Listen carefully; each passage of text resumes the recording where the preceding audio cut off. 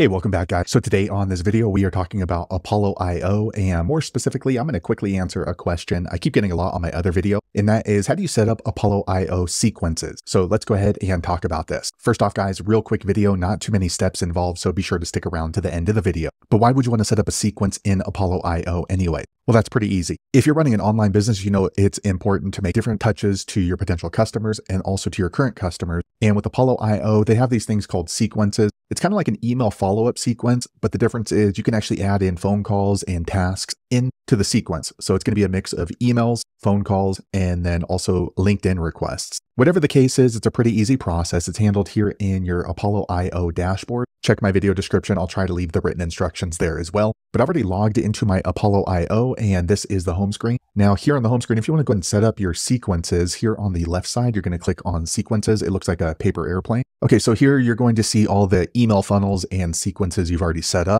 However, to set up a new one, you want to click right here, create sequence on the top right in blue. Okay, so once you do that, you're going to get these four different options. So in order to create a sequence, if you've done this before, you can go ahead and start here from scratch. So basically you're starting from the ground up. So if you're trying to get it up and running quickly, you probably want to go ahead and use one of these two options. So pre-formatted just means that there's templates. So you can change the templates and you can add in other steps, but at least it gives you the wired framework. Or you can use the AI assisted. So basically you're going to tell AI what kind of sequence between phone calls and emails, and it's going to outline that for you. So for the purpose of this video, let's go ahead and use AI to set up an Apollo IO sequence. Okay, so for this test account, I've already entered some of the data points. So Apollo IO is going to pull that data automatically. But you can go ahead here and change this. So here I put that we are a Chinese food office catering company. I put in the pain points that our customers generally have, what our value proposition is, and then the call to action for them to go ahead and book a Chinese food catering order, and then an overview of our company. And then here you can go ahead and add any additional context, and that way AI can kind of craft a good sequence for you. So once you're done with this questionnaire, go ahead and click here, generate new sequence.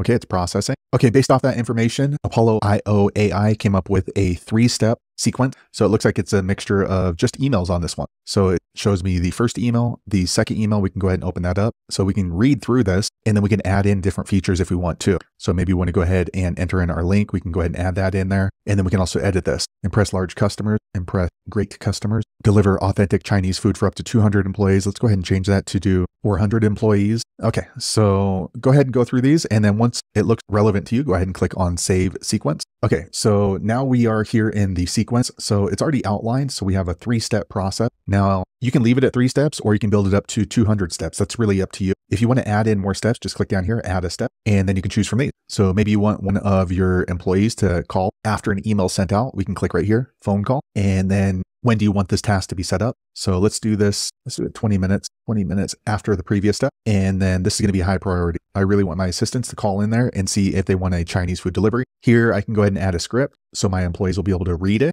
directly from Apollo IO. And that way it keeps everything kind of uniform. Ask if it was the right order and if they want to place another order. Okay. And you can go advanced setting. So we can skip this if my employees don't get to it after a day. All right, let's go ahead and click on continue. And you're going to see it's going to add in another sequence. So this is actually really important. You can see that it dropped in the phone call on step four. So that means that after day seven on this automatic email, my employees or my contacts are going to be alerted to phone call. But I actually want this to be after the first contact email. So what you're going to do is grab this little bar here on the right and just drag it up here. Okay. And then it's going to ask you to confirm. So click on yes. Okay. So now what's going to happen on our sequence in Apollo IO, an email is going to go out to our contact. And then 20 minutes after the email goes out, I'm going to be alerted that I need to phone call that company. And then three days later, they're going to get a, an automatic email. And then on day seven as well. Now, later on, if you decide you don't want these particular steps, so maybe you just want one email, one phone call, and then a follow up email, you don't need this fourth email. You can easily just turn this off and you can see the button turns gray.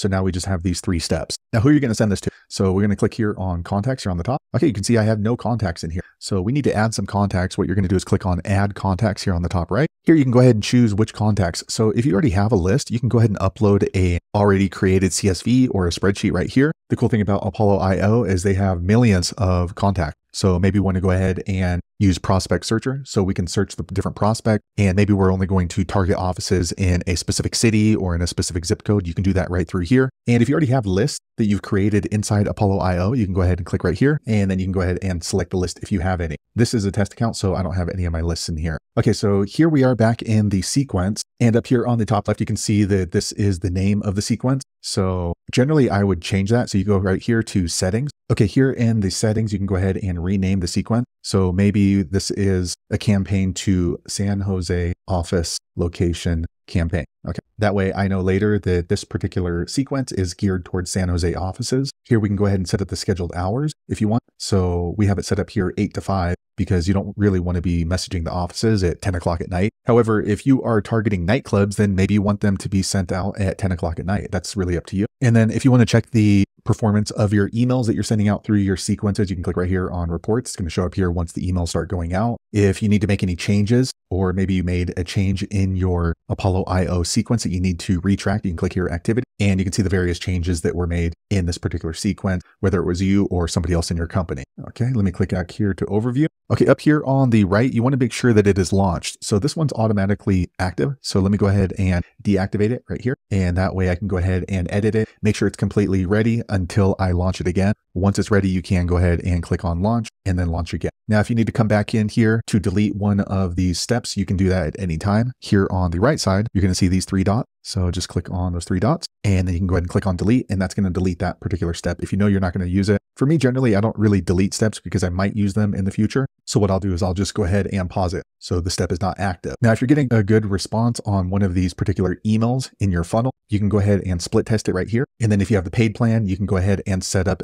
another variation of it. So maybe you're going to go in and change some of the wording or the sentences or the call out. So you can do that as well. All right. So once you have set up your sequence, it's always going to show up right here on the left side. So you can click here on sequences and then it's going to show up right here, as you can see. So there you have it, guys. If you're wondering how to set up a sequence in your Apollo IO, that's the easiest way I know how to do it. If you know an easier way, be sure to leave a comment below. Let the rest of us know how you did it. Hopefully you found that video useful. If so, click thumbs up or maybe consider subscribing to my channel and I hope to see you on the next video. Thanks again for watching.